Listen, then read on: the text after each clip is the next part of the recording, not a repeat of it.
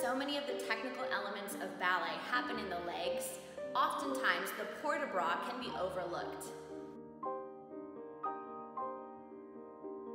Port de bras means carriage of the arms.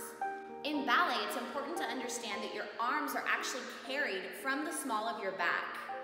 Right underneath your shoulder blades, you have to feel a long and lengthened position in order to find the elegant poise and stature that we love to see in ballerinas. When I see a student who has good control of their port de bras, it tells me that they've been paying attention to many details in ballet class and that they'll be able to move effortlessly through both arm and leg movements in the center.